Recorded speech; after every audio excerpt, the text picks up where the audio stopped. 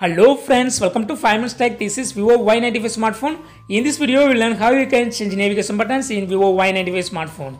See here, this is back button, this is home button, this is menu button. If you want to change this arrangement, you can go to the settings and click on system navigation. Here you can select order and styles of navigation bar.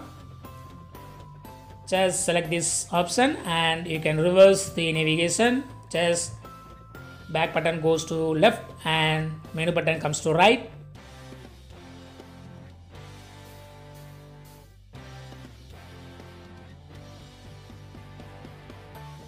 You can also choose another option.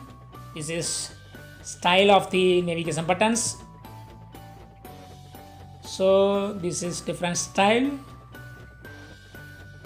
And you can use back button this is home button and this is menu button or recent tabs.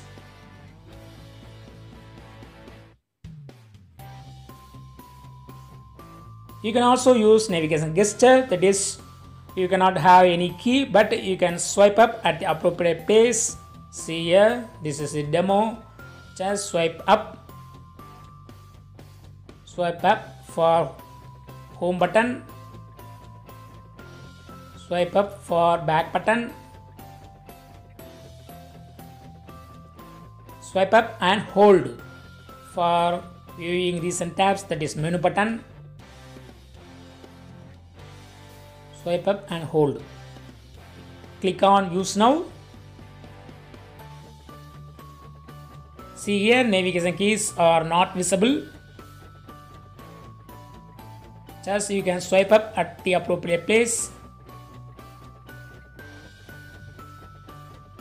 swipe up and hold for viewing recent tabs.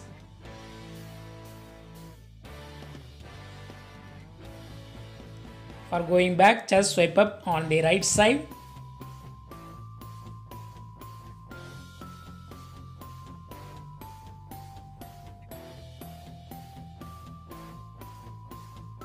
So in this way you can use navigation gestures